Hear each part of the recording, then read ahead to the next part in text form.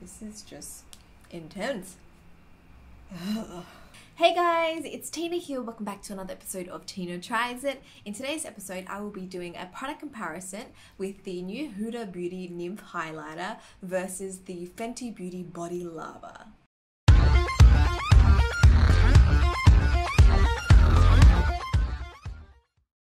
If you guys are new to my channel, welcome. My name is Tina. If you like my content, be sure to click subscribe and turn on notifications. That way you can stay updated with future videos that I post.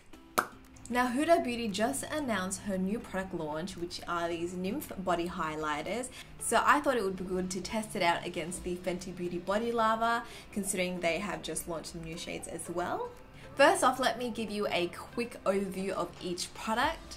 The Huda Beauty Nymph Highlighters, which stands for Not Your Mama's Pantyhose, comes in three shades, Luna, Aphrodite, and Aurora. These retail for $49 each. In each bottle you get 55 mils of product. These are water-based and can be used all over the body and even on the face. It claims to have intense shine, give you a blurring effect, be water resistant and transfer resistant. Huda also created her own Blur and Glow brush, which you can use to buff the highlighter in on your face and body. The Fenty Beauty Body Lavas are a gel-based illuminator and they also come in three shades. Who Needs Clothes, Trophy Wife, and Brown Sugar. These retail for $59, a little bit more expensive than the Huda one, but you get a lot more product. In each bottle you get 90 mils of product, as opposed to 55 mils. This body illuminizer leaves the skin feeling dewy and has light diffusing micro micropearls with a sheer tint of colour, designed for all skin tones. It can be applied with the face and body kabuki brush. So first thing I want to do is swatch the colors of each range so you guys can compare and see the difference. I'm just gonna pump some out on a palette. Just gonna pump a little bit. So I just noticed something with the Huda Beauty packaging and the pump specifically. I find that if you if you want to use a little bit of product, it's actually hard to kind of control how much comes out. Whereas with the Fenty one, the pump is a lot better. You can control how much product comes out very easily. Okay, I'm gonna swatch it on my arm. Oh, you can see my armpit and I didn't, didn't shave. I'm just gonna try to lift my arm up not too high so you don't see my underarm. I'm going to swatch the Huda Beauty ones first. This is the first shade, which is Luna. So I'm just going to pop that up on here. And then we'll move on to the next color, Aphrodite. And the darker shade is Aurora. So just feeling the texture of this, it does feel very thin, very watery. That's the three shades there. Now I'm going to swatch the body lava. So this is Who Needs Clothes. And then next shade is Trophy Wife. By the way, did I tell you guys I met Rihanna in London and oh my god, she is a goddess. She's freaking amazing. And then the last shade, Brown Sugar. So here are the swatches. As you guys can see, the Huda Beauty ones are more opaque compared to the body lavas. Let's talk about the shades. Obviously they're different. I feel like the first two actually are quite similar, but the other two, they're pretty different. A big thing I noticed with the darker shades is that the Huda Beauty one is definitely more orangey compared to the Fenty one. So another thing is the Huda one, it's actually set, like it feels more dry. Whereas with the Fenty one, it is a little bit tacky and somewhat sticky. I'll compare it a little bit better when I apply it on like a large area and blend it out. Okay, now I am going to test out the Nymph Illuminator on my face, seeing that it's a face and body product. Now I saw Huda Beauty, she actually just applied it underneath her foundation and then laid the foundation on top. So I'm going to use the shade Luna, which is the lightest one. And to compare the difference, I'm going to apply it on half my face and the other half I'll just apply just foundation so you guys can see the difference. So I think I'm just to like dot it on first. I guess you can apply it everywhere. And then I'm just going to use the brush and just buff it out. Oh. This is just intense. Oh, okay, you need to work really fast with this because it does dry fairly quickly. Oh, see now it's all clumped up in one spot. Okay. um, now I'm not one to use a lot of illuminating liquids under my base. I usually kind of apply it on top. So this is looking a little bit crazy for me. But we shall make it work. For foundation, I'm going to be using the Luminous Silk Foundation from Giorgio Armani. Okay, so I'm just going to apply this over on top. I actually really love this foundation. I don't know why, but I kind of forgot about it. Okay, so I'm just blending that onto my skin on top of the illuminator. Then I'm just gonna go in with my beauty blender to just really pat that out and just blend it nicely. Alright, so this is what it looks like. You can obviously see there's a lot of shine there still. It's very luminous under there. Let me apply foundation on this side to properly compare.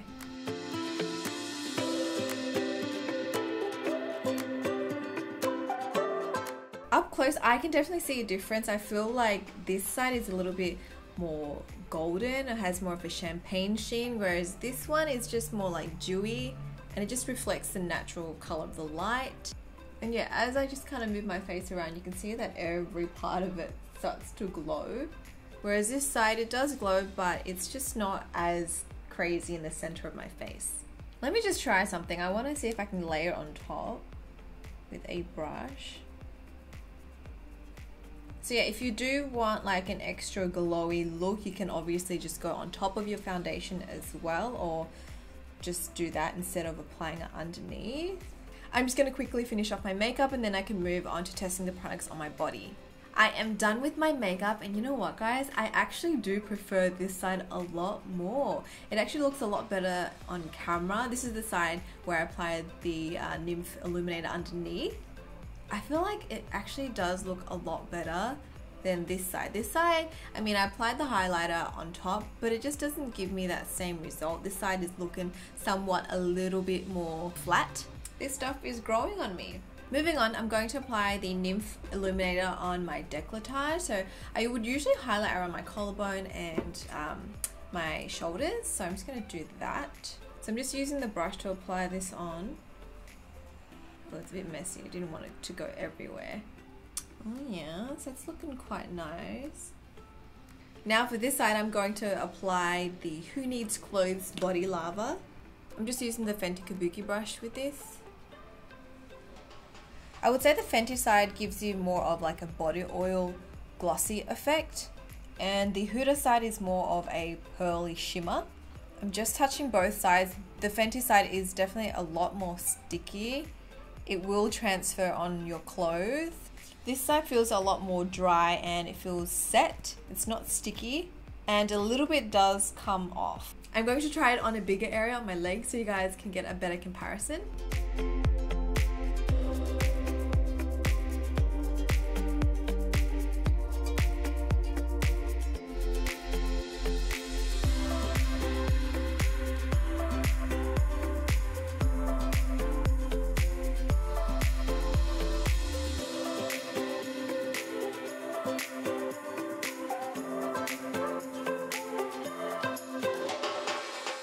Okay, so this is the Huda Beauty side and this is the Fenty Beauty side. A big difference I notice here is this leg is a lot glowier, it's more luminous. Though when you look up close, I feel like it looks like you're wearing body makeup. It doesn't look that natural. You can see all the little pigments and the particles. I just feel like up close I kind of look like the Tin Man, but I think for performances and on stage, this would actually pop out a lot more and look a lot glowier. On the Body Lava side, it's still very glowy, it gives me that nice sheen. This side definitely gives you a more natural finish because you can't see all that pigment particles everywhere unless you look super up close. But even then the particles are sort of spaced out. They're not as concentrated as this side. I also found that the body lava was a lot easier to blend out as opposed to the nymph side. I feel like you don't get a perfect even layer but in saying that when the light hits it you can't really tell too much because all the areas are reflective. But in real life I can see that it is a little bit streaky or patchy. It just depends where I pump the product and which area I swiped first. I like the finish of the Fenty Beauty more but it is sticky and it does transfer. The nymph side, it doesn't feel like I have anything on when I touch it. It just feels like skin. There's no tacky feeling. There's no stickiness. And the results are a lot more dramatic, I would say. However, this side still transfers Now I wanted to do one last test to see whether the Huda Nymph Illuminator is water resistant. So now I'm going to put my arm under running water. I'm not going to rub it and I'm just going to see what it does to the swatches. Now you can see it has definitely faded. It's not as pigmented as before. I kind of expected this because it is a water-based product. Here you can see if I just run it under water again and just rub my finger very gently over the area, the product basically comes off. Now that I've tried both products out, let me give you my final thoughts and pros and cons to each product. For the Huda Nymph Illuminator, the pros are it can be used on the face and body. The product is super pigmented. When it's set, it's not sticky and it gives you a very high shine. Some cons are it does transfer slightly and this formula can be hard to blend because it sets quickly. For the Fenty Body Lava, some pros are it's better value because you get a lot more product. Because the shimmer particles are more spaced out, I feel like it gives you a more natural finish. It makes your skin look glossy, the formula is easy to blend and the packaging has a better pump design. The cons are it feels tacky and sticky on the skin. It's not transfer resistant. It's not as pigmented as the Huda Beauty one. Now for me personally, I do like Nymph on my face as a illuminator. I think it actually looks quite nice and glowy. On my body, I'm not a big fan. I think it's just too too pigmented for me, I would mix it with a little bit of like body moisturizer or something just to dilute that pigment a little bit to make it look more natural. I do prefer the body lava finish a lot more, however it's sticky which gets to me. Because I live in a hot and humid country, I'm already sticky, so sticky on top of sticky is just not ideal. I think these products would be perfect for special occasions. I don't really know anyone that applies this on a day-to-day -day basis. Usually if you're going somewhere special for events or photo shoots, these are great products to try out.